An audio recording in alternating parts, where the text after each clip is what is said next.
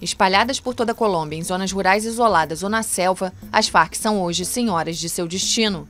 Livres, mas enfraquecidas, o Exército afirma ter reduzido pela metade em 10 anos o número de rebeldes. Nos últimos cinco anos, o grupo perdeu muitos líderes. Será que as atuais negociações trarão a paz?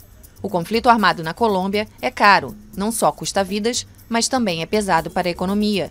Após mergulhar em 1,7% em 2009, o PIB do país teve um aumento de 6,6% em 2011, mas esses números poderiam ser melhores. Segundo as autoridades, os rebeldes custam por ano de 1 a 2 pontos percentuais do PIB da Colômbia.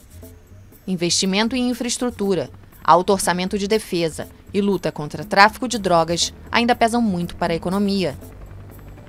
A renda das Farc vem, na maior parte, de suas ligações com a produção e tráfico de drogas.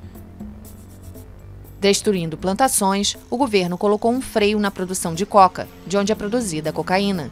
As plantações de coca foram reduzidas pela metade, mas ainda se estendem por 48 mil hectares do país. As atividades criminais representam a cada ano 8 bilhões de dólares, quatro vezes as exportações de café da Colômbia.